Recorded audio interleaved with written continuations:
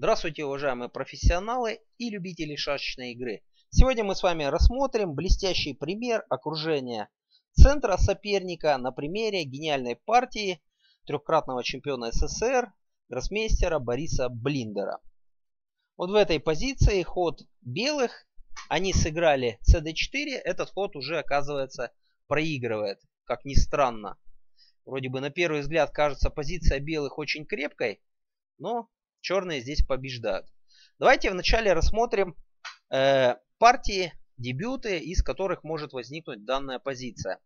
Ну, допустим, вот эта позиция может возникнуть из дебюта отыгрыш. Вот этот размен назад называется отыгрыш. Белые ставят тычок, и черные начинают окружать шашку c5, тычок. Они э, выигрывают шашку временно, но белые этого не боятся, потому что строят колоночку и с помощью удара по затылку отыгрывают шашку и позиция уравнивается. Далее обе стороны подтягивают свои шашки ближе к центру и возникает э, та позиция, которую мы сегодня с вами рассмотрим. Также эта позиция может возникнуть из дебюта отказанная городская партия. Если в этой позиции сыграть cb4, тогда черные играют GH4 и возникает дебют городская партия. Поэтому белые уклоняются от известных вариантов городской партии и нападают на шашку G5. Черные здесь могут поставить кол. Ну и после всех разменов в этой позиции белые обычно играют э, ED6 и меняются 2 на 2 с равной игрой. Но можно напасть и CD4. Теперь у черных есть два хороших варианта. Либо сыграть э, ED2 с интересной позицией, либо разменяться э, вот таким образом. CB4, черные временно жертвуют шашку, затем отыгрывают эту шашку и снова возникает уже известная нам позиция. Обе стороны подтягивают свои силы ближе к центру. И снова возникла наша позиция только с переменой цвета. Ну и, наконец, откуда еще может возникнуть данная позиция? Вот такая леталка. Белая Е3 летит на А5. Это такой жеребьевочный дебют. Летающая шашка называется. Не пугайтесь, кто не знает. Обычно такие дебюты играют профессионалы. Но в этой позиции у белых позиция чуть похуже. Они начинают окружать. Черные же занимают центр. Активизируют свою бортовую шашку выводит ее в центр. Ну и белые пытаются ее окружить. Но здесь видно, что у черных есть недостаток позиции. Это отсталая шашка А7. Развить ее здесь тяжело, поэтому они вываливаются в центр, белые закрываются и затем спокойненько развиваются. Белые меняются назад, черные также меняются назад, получают позицию чуть поприятнее, но белые вот таким двойным разменом, это стандартный прием, позицию уравнивают. Ну и снова обе стороны подтягивают свои силы ближе к центру. Ну и возникает уже знакомая нам позиция. Опять же с переменой цвета. Давайте вернемся к этой позиции. Это знаменитая партия из чемпионата СССР 1952 года ВРТ Блиндер. Значит, в этой позиции у белых есть три хода. GF4 это плохой ход, CD4 плохой ход и, наконец, сильнейшее продолжение B3. Ну, давайте вначале рассмотрим ход GF4. Этот ход плохой. Э, черные здесь энергичной игрой могут выиграть. Меняемся на поле G5. И что мы видим? Центр белых внезапно провис. То есть рано или поздно белым придется сыграть CD4 надо играть, да. Ну тогда черные меняются назад. И вот здесь мы видим, что мы можем вначале выбить шашку g1 вот таким ходом fe5. Затем мы меняемся и прорываемся по ослабленному правому флангу белых. Как далее может протекать игра? Обе стороны прорываются в дамки, но мы видим, что силы белых отрезаны по двойнику, а шашки черных могут беспрепятственно пройти в дамки. Здесь у черных выигрыш. Ну, как можно дальше играть? Допустим, белые ставят дамку и занимают большую дорогу. Тогда мы начинаем вести свои шашки в дамки. Белым надо перевести шашки на бортик, потому что в центре они подвержены атаке.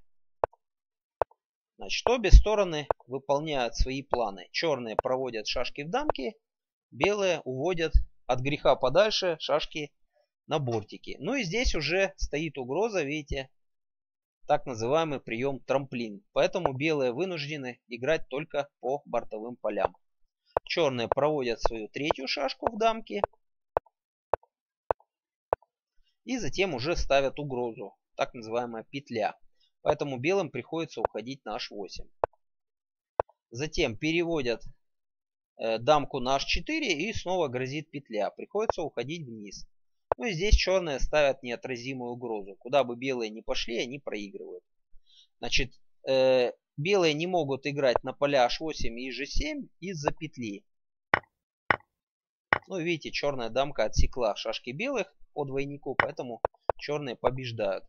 Внизу оставаться черная дамка также не может, потому что здесь такая петля. Отдаем две дамки, затем еще одну шашку и снова выигрываем. Ну, если отдать в этой позиции шашку, просто бьем. Затем снова строим эту позицию и опять стоит такая угроза. Белые вынуждены сдаться в этой позиции. Как видите, ход gf4 в данной позиции очень плох. Э, как еще белые могли играть в этой позиции? Правильно, конечно, играть b3. Здесь э, сохраняется равенство. Черным надо меняться fg5, это лучший ход. Ну и здесь у белых есть два хода. После хода gf4 снова играем de7 и снова выигрываем. Ну, конечно, э, здесь у белых, оказывается, есть гораздо более сильный ход. gf2 чем идея? На напрашивающийся ход d5 здесь уже белые побеждают наоборот. Вначале они нападают. Ну и у черных есть два хода. Значит, если они проводят вот такую двойную жертву и пытаются пройти в дамки, здесь белые легко побеждают. Они пропускают черных дамки, затем эту дамку ловят, ну и остаются с лишней шашкой. Второй вариант. Если черные в этой позиции меняются таким образом. Здесь э, белым надо пожертвовать шашку и напасть на шашку черных. Ну и здесь белые постепенно побеждают.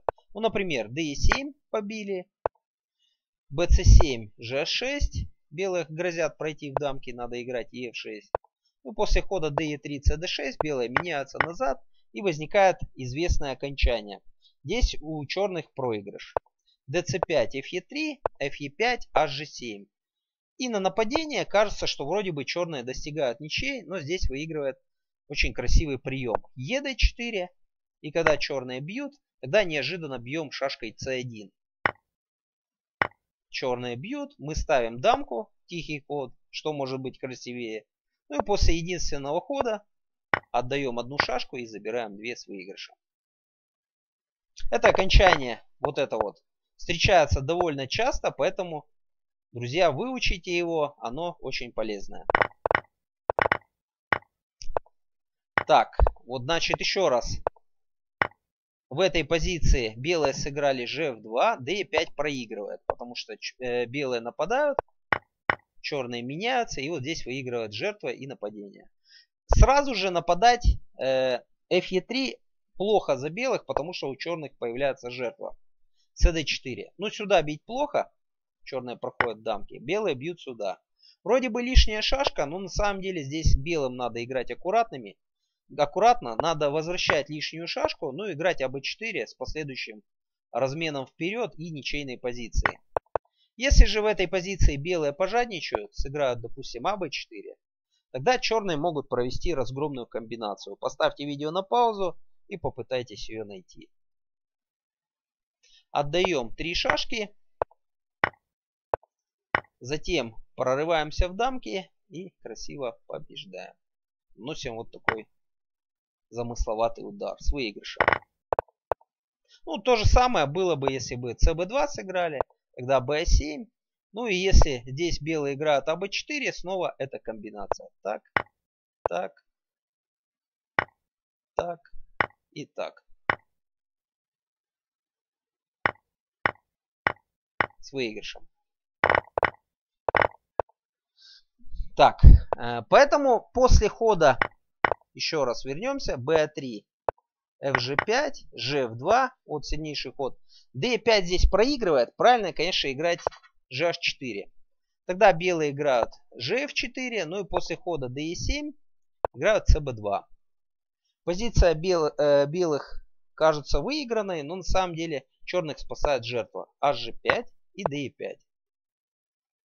Белым надо идти в дамки, но здесь мы наносим удар пяткой, или как его еще называют, удар каблуком. Ну и постепенно уравниваем позицию. Можно разменяться вперед. Ну и после хода bc3 тоже возникает известное окончание. Значит, в этой позиции можно сделать два хода. gf6 и e6. Как ни странно, ход gf6 напрашивающийся, но он плохой. Здесь белые получают преимущество ef4. Ну и после хода ед6 не надо играть cd4. Там будет равное окончание. Правильно играть fg3. Ну здесь уже после единственного хода fe5 э, белые получают преимущество в эншпиле. То есть черным приходится жертвовать шашку. Белые здесь еще грозят затем по такой траектории перестроиться и начинают атаковать шашку c5. Поэтому здесь у белых преимущество, есть шансы на выигрыш. Поэтому правильно в этой позиции, конечно, играть не gf6, это плохой ход, а ef6. Здесь позиция уравнивается гораздо проще. Допустим, ef4, gh6 и на ход fe3 уже играем fg5.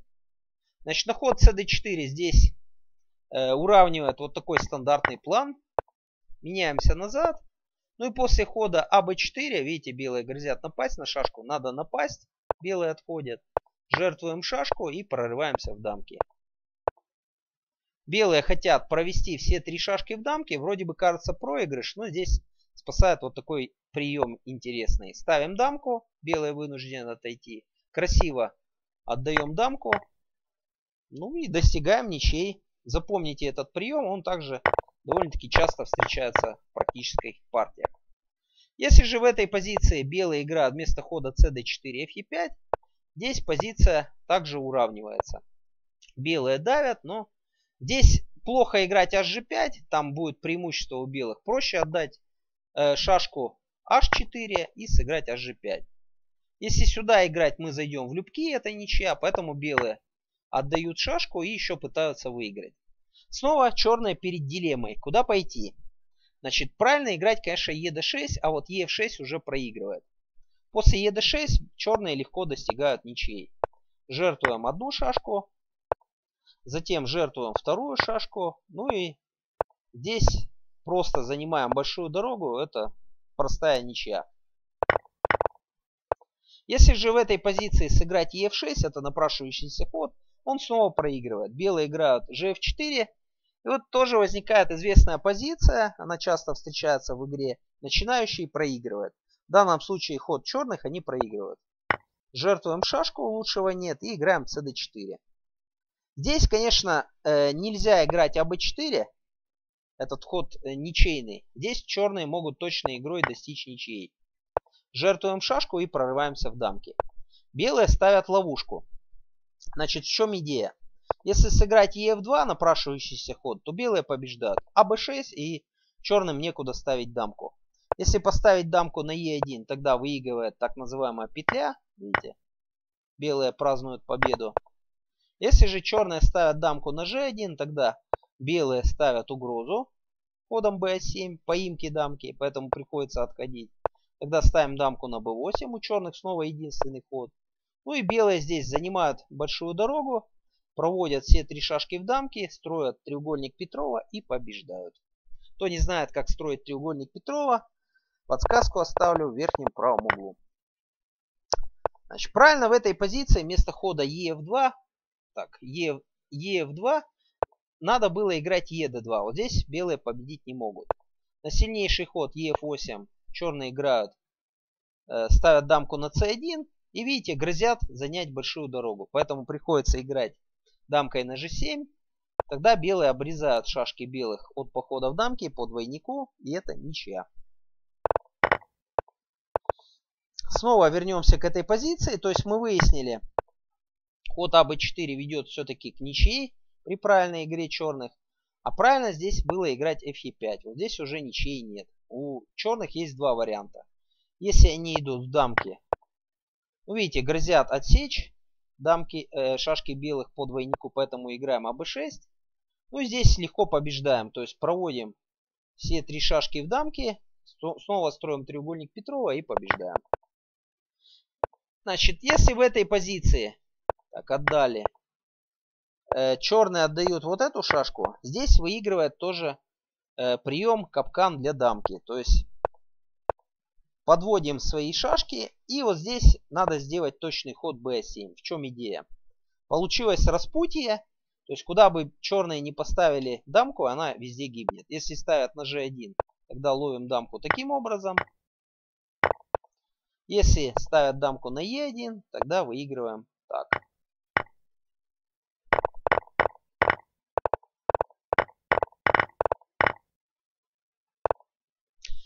Ну и давайте рассмотрим все-таки партию Верите Блиндер, как здесь белые ошиблись и черные блестяще победили.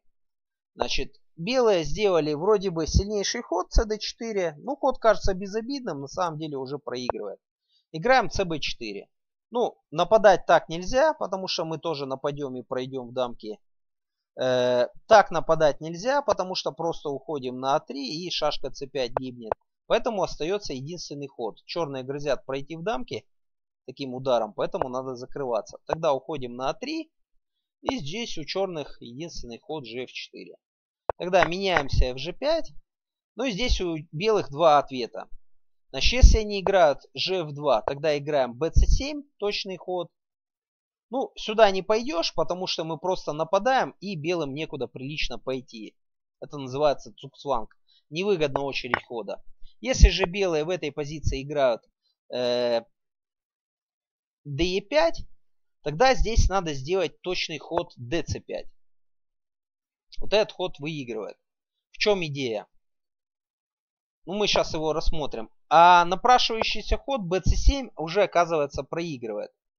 Значит, ну, кажется, что на самом деле белые проигрывают. То есть на ход cd4 играем аб4.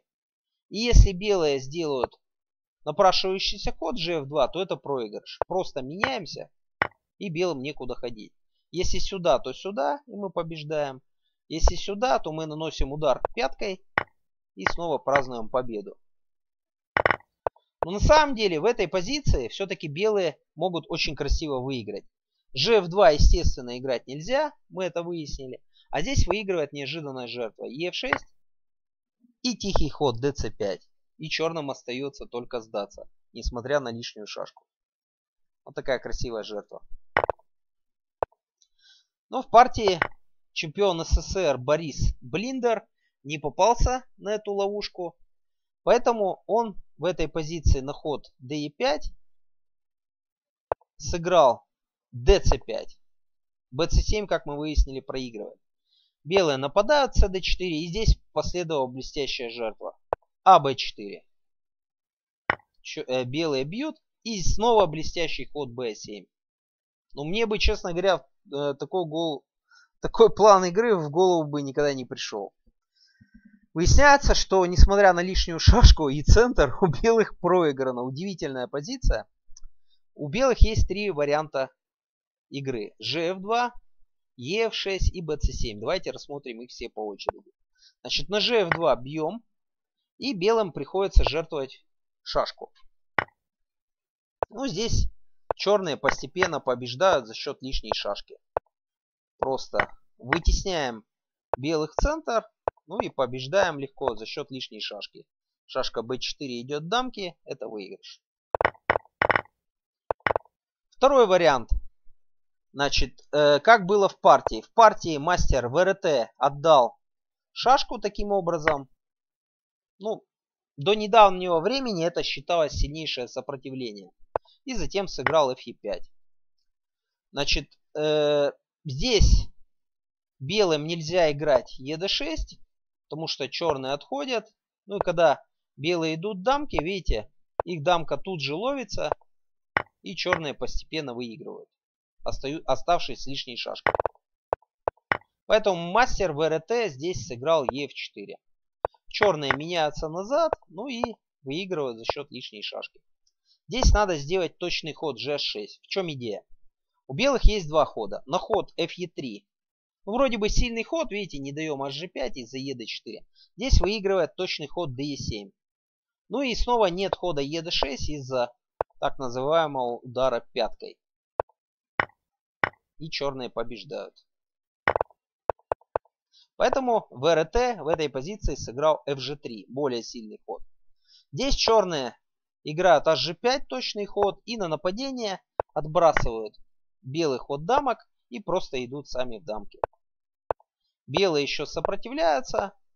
И вот здесь в этой позиции можно было, конечно, выиграть постановкой дамки, но Борис Блиндер решил выиграть красиво. Сыграл d7, ну и на единственный ход df6 поставил дамку, черные отходят, и последовала красивая жертва дамки. И снова удар пяткой.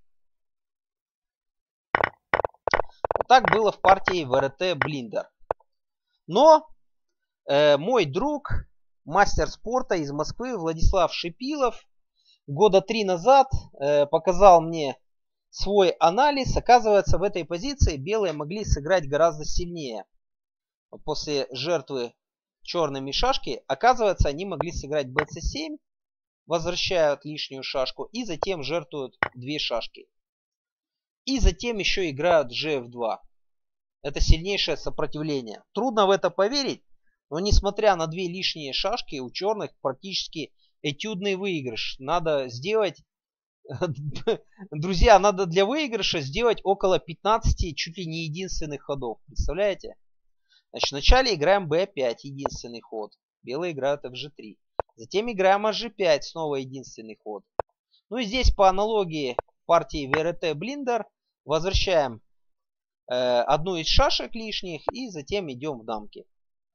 Белые меняются назад. Ну и кажется, что позиция черных легко выиграна. Просто идем в дамки. Но здесь к выигрышу ведет только единственный ход. Надо сыграть дамкой на e5. Выясняется, что белым некуда ставить дамку. Если они ставят дамку на d8, тогда меняемся дамками и легко выигрываем. Если в этой позиции белые ставят дамку на f8, тогда выигрывает аб6. Стоит угроза bc5 и выигрыш, поэтому приходится отходить. Тогда отдаем красиво дамку и ловим дамку белых. Снова побеждаем. Но это лишь надводная часть айсберга. Оказывается, в этой позиции белые могут сыграть Ef2. И вот в этой позиции к выигрышу ведет только единственный план игры. Далеко не очевидный причем, друзья. То есть белые хотят поставить дамку. Если сыграть АБ4, они поставят дамку. И затем постепенно уравнивают позицию. А к выигрышу ведет только такой план. Значит, нам надо вытеснить шашку F2 белых на поле G3. И только здесь выигрыш. Допустим, белые ставят на d8 дамку, тогда нападаем. Вот мы вытеснили шашку f2 на g3, затем занимаем центр, и вот здесь у белых выигрыш. Причем у черных выигрыш. Причем у белых есть тоже еще интересная ловушка. На dc7 играем аб6, снова единственный ход. И на ход cb8 хочется сыграть bc5, напрашивающийся ход. На самом деле это ничья. Белые играют gf4 с невозмутимым видом, и на ход cb4 просто нападают. Выясняется, что это ничья.